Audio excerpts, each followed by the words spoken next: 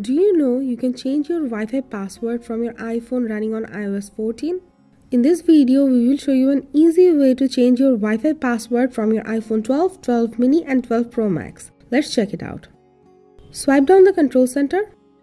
Tap and hold on the Wi-Fi. Tap Wi-Fi settings. Tap on the eye icon beside the connected network. Scroll down. Tap router IP. Copy it Go back to home. Open your browser. Tap on the URL bar. Tap paste and go and you will get into the login page of your router. Now you have to log in. For most popular brands, the ID and password is admin and admin.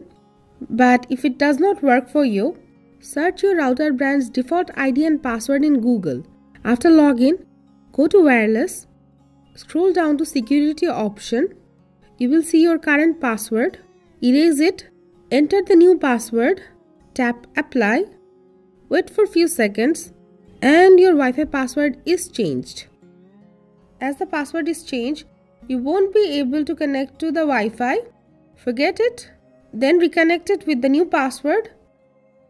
So guys, this is the way you can easily change the Wi-Fi password from your iPhone 12, 12 mini and 12 Pro Max.